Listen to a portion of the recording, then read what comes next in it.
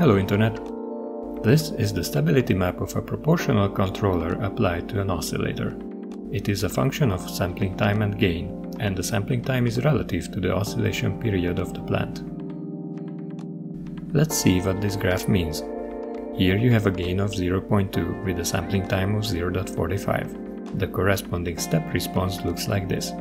It's not great, not terrible, this low gain doesn't do much, but it's definitely stable. Let's get the sampling time down to 0.2. Same gain, more than twice as fast sampling, and it's unstable. Even weirder, if we move to negative gain, which produces a positive feedback loop, it becomes stable. Horrible controller, you give it a step response and it goes the other way, but it's stable. Moving on to t equals 2.45, so about two and a half times the oscillation period, you can see the plant output swinging between steps, but the controller is still stable. So far, the plant has been a simple harmonic oscillator without damping. Let's see how damping changes the map. You get these spikes in the available gain, because sampling itself acts as a kind of filter for the oscillating part, and you control it something like a first order system. The gain can be much higher, though you get these oscillating peaks in the analog output uh, that are not great. Next, let's add the derivative term. Normally, if you have an underdamped second order system, you use PD control at least. So let's add that derivative term and zoom in in the first period. The derivative didn't help much at the sampling rate we're at, but gave us this dead zone in the middle where no gain is stable. Moving down to very short sample times, this is where you get the control performance you're probably used to. The step response is similar to an analog controller, the gain can be fairly high. The rule of thumb is to sample around 10 to 25 times faster than the plant, so I guess we can confirm it. But it can be interesting to see the bigger picture, beyond these best practices. Before we jump into the details of control, we need to deal with aliasing. Here's a sine wave and its unit circle representation. Watch how we hit the sample points as we sweep around the curve. You can think of them as checkpoints. Now I'll keep the radius as reference, but move the dot uh, with 9 times the speed, so it's running laps around the reference. Why 9 exactly? We have 8 sample points to complete one lap, plus the one to catch up with the slower reference. Now I'll hide the running points and you'll only see the sampling checkpoints.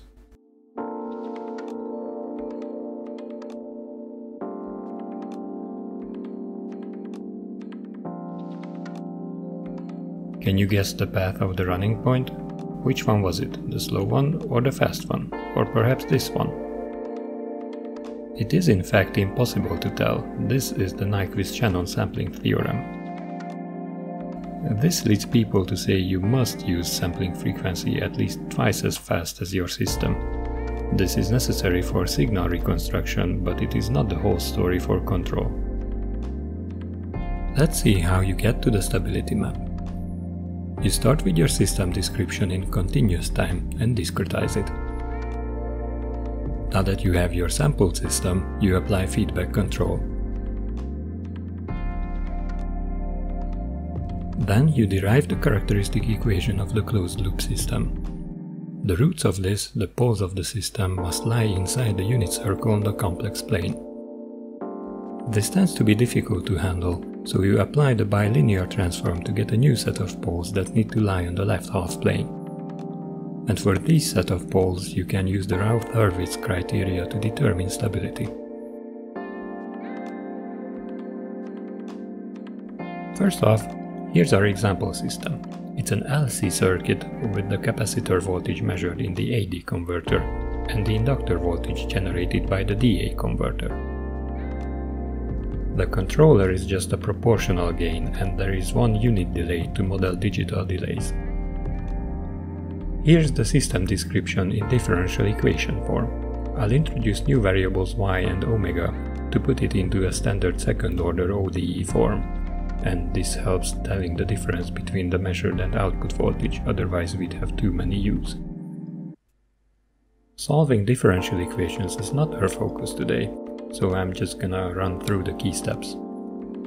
You can find plenty of good resources on the topic online. You start by looking for the homogeneous solution in exponential form and solving for the lambda roots. The roots we get are plus minus j omega.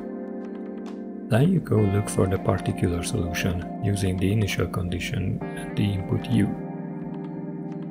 Thanks to the Euler formula, you can change your variables and functions from the complex exponentials to sine and cosine functions, and then you derive the solution using the initial conditions. Now you can put the solution into a matrix form like this. This will tell you the value of y and the derivative at time t. All you do next is plug in the sampling time, uppercase t. Uh, this tells you how to get from the initial condition to the next sample. And then you use the result from the previous sample as initial condition for the next transition. Here's how it works on a second order system. Um, this one has damping because it looks nicer. You have all these sample points that are, in the end, just evaluating the response function. Take a look at the first sample. If sampling time is flexible, the discretization process is exactly the same as deriving the step response. You move up to the first sample period and take note of the states. You get a new input and you start over the step response with the previous states as initial conditions. The key to this process is the zero-order hold on the DAC output. Thanks to the zero-order hold, the input to the plant is piecewise constant.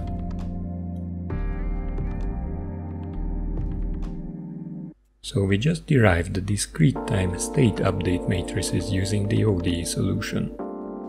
More generally, you can use matrix exponentials to derive these matrices.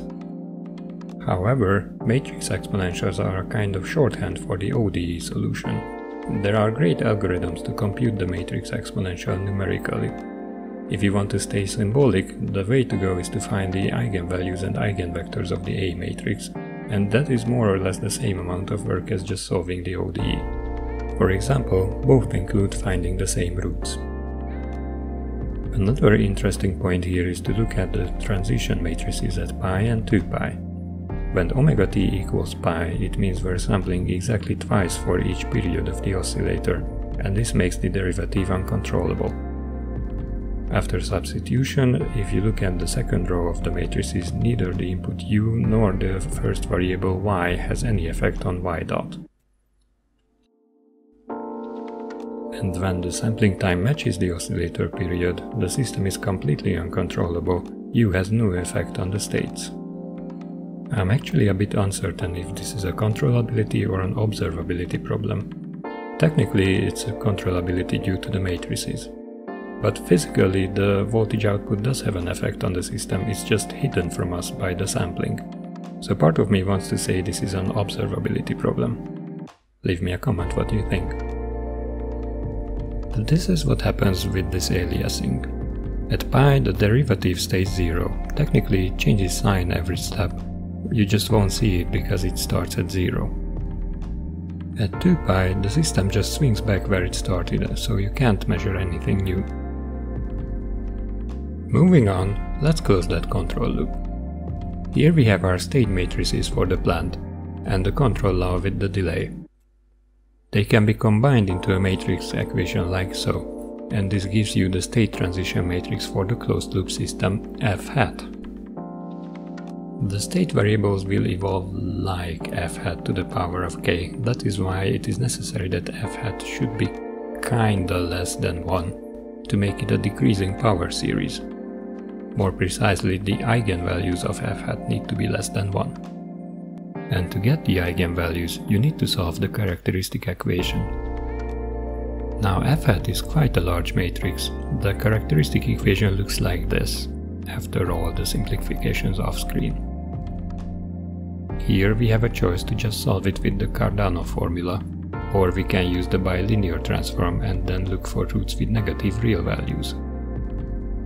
You see, the bilinear transform applied to the unit circle gives the imaginary axis, Anything inside the unit circle is mapped to the left of the imaginary axis.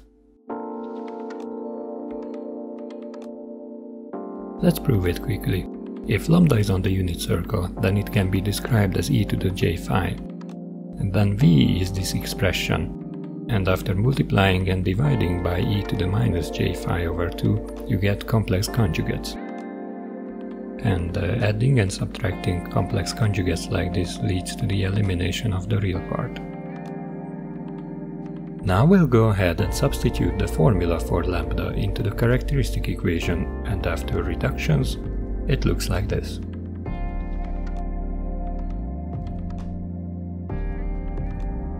Finally, we can apply the Routh-Hurwitz stability criteria. This was developed in order to tell if the roots of polynomials will be negative without actually computing them. However, the actual process for higher degree polynomials is quite long, there are good sources online explaining it. In this video I'll just give you the result for third degree, the criteria are that all coefficients of the polynomial must be positive and the product of a1, a2 minus the product of a0, a3 must also be positive. So here's our polynomial in variable v, and here are the coefficients listed. The term a0 will always be larger than 0 except for the edge case where cosine omega t is minus 1, so that's our first restriction. For the a1 term, it yields that p must be larger than cosine plus 1 over cosine minus 1. And also we need to avoid division by 0, so let's add that to the cosine term above. Cosine omega t must not be plus minus 1. The a2 term yields that p must be less than half. And the a3 term yields that p must be greater than minus 1.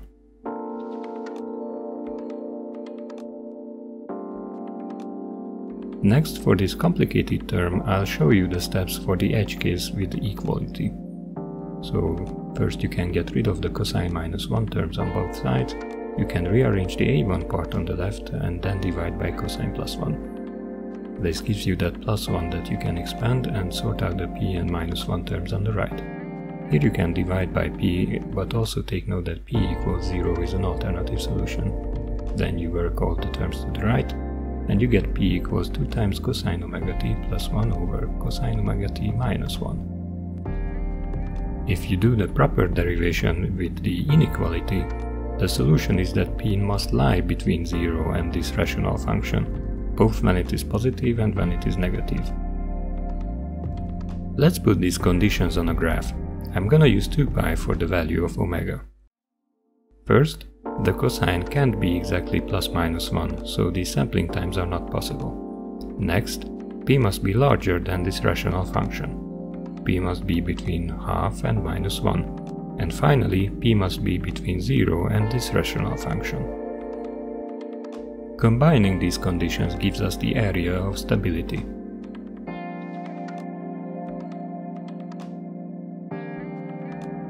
Now if you wanted to create the stability map for other systems, say an oscillator with damping, you can follow the same steps, just start with the different plant and closed loop matrices. Here's the closed loop matrix I used for the first part of the video for the damped oscillator with PD control. Though instead of going symbolic all the way, I cheated a bit and used brute force numeric solution instead. Took my machine like 4 or 5 hours total just to pre-calculate the dataset for the stability map. Anyway, that's all I had for today. Hope you found that interesting. Thanks for watching, bye.